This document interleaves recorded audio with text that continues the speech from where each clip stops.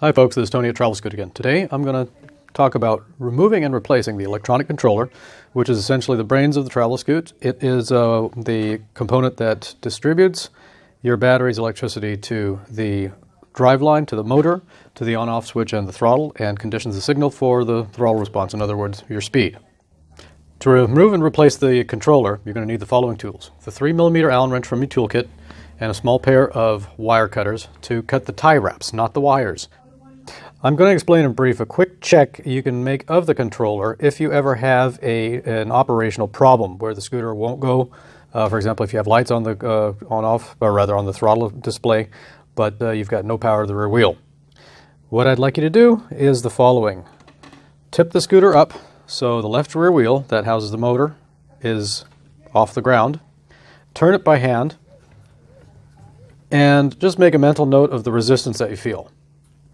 Next, disconnect the motor cable from the controller at this location. There are two wire ties. Uh, you're probably going to need to cut one of them. And disconnect this 9-pin plug.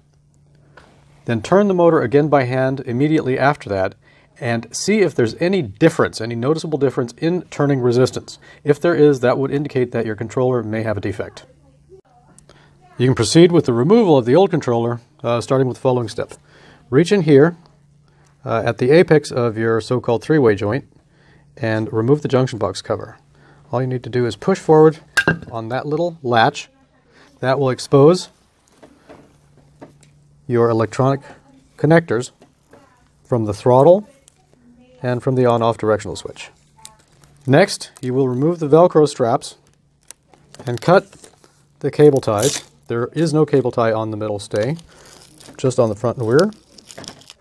After that, you will want to cut the cable tie that holds the controller to motor cable in the front. You're not necessarily going to need to cut the one in the rear, but let's cut that one if we can.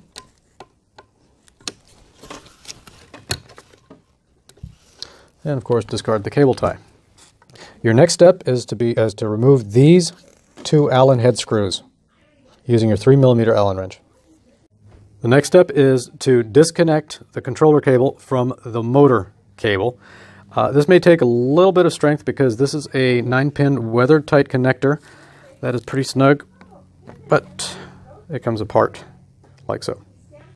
I might as well take this opportunity to point out something uh, that's really, really important. Uh, when you go to reconnect the motor cable and the controller cable. It is vital that the two white alignment marks are in alignment.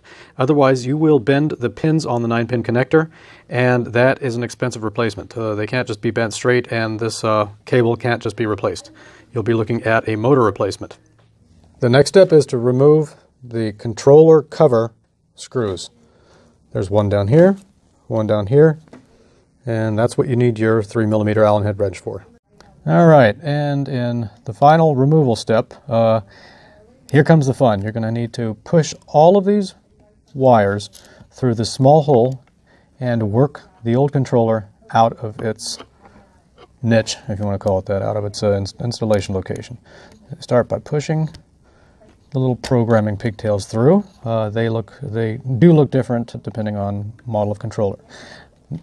Pull upward on the housing as you do this push through the motor connector, and last, feed your harness through the hole.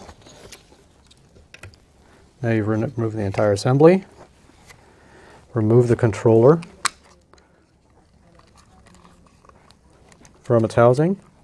This is your battery connector. Please note the location of the tang that helps align it. Uh, I'll show you a couple other reference points. It's also vital that the black and red wires are in the proper location. The red wire will be towards the inside of the scooter and it's marked number one. And obviously when you plug your battery in, that has to align with that. Once you have that out of there, you can remove the entire controller as a single unit. Okay, let's just assume you've got your new controller now. We are just going to install the new controller pretty much in the reverse order of removal. But we will show you how that uh, how you do that instead of just saying do everything backwards take your controller housing with your battery connector facing upwards. It's also very useful to give it a few twists so you have a bit of a pigtail so you don't wind up with a wad of wire getting in the way of your installation. Insert it gently into the into its housing squarely. As you move it in there, insert the battery connector into its receptacle with the tang down, in other words, with the red wire that's numbered number one towards the inboard side of the scooter. Slide it in place. Slide your controller into place. Now, beginning with your long wire tie, uh, long harness rather, insert through the hole. Next up is the motor connector. Through the hole it goes. And next up, the programming connectors that are not really essential at this stage. That's actually for factory adjustment. But if they don't go through the hole, they will obstruct the housing. Okay, now we're in place. Your next step would be to insert your Allen head screws and engage the threaded holes in the housing. Get them started by hand. If you get one started, do not tighten it yet. Wait till you get the other one started. Now take your 3 millimeter Allen wrench.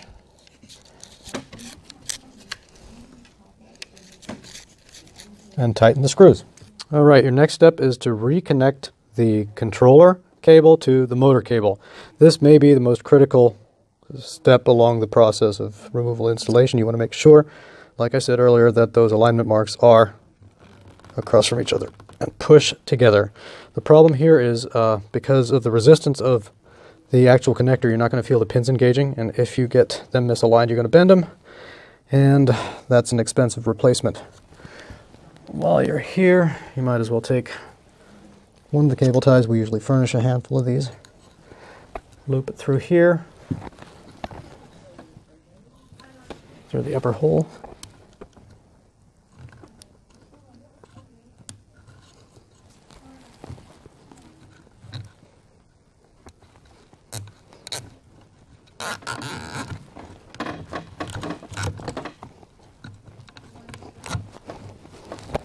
Tighten. Snug it up a bit by pulling on it and cut it flush. The next step in the process is to reconnect the controller harness with the throttle and the on-off reverse forward connector. There's nothing you can uh, really do wrong here because the uh, your power and forward reverse connector is wide while the throttle connector is slightly narrower. Uh, the only thing you have to pay a little bit of attention to is that you get the trigger, latch, and lock aligned. Uh, you cannot connect these incorrectly, uh, but if you were to force it brutally, you might damage one of the pins, and then you've got more work on your hands. So push them together, wait for a nice firm snap. This would also be a good opportunity to apply some electrical contact spray to clean up the contacts on your on-off and uh, throttle control connectors. And then we will place it in place. We're going to take the junction box cover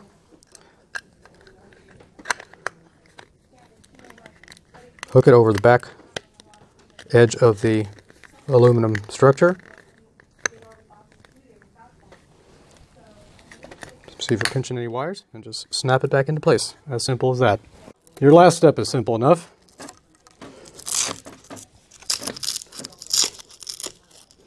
Just strap your controller harness in place alongside the so-called trailing arm. You are going to want to install a cable tie in these two original locations in the front and the rear. It's as simple as that. Uh, needless to say, before you get everything installed and tight, you should do a function check. Make sure that uh, the scooter operates with your new controller. Thanks for watching and happy scooting.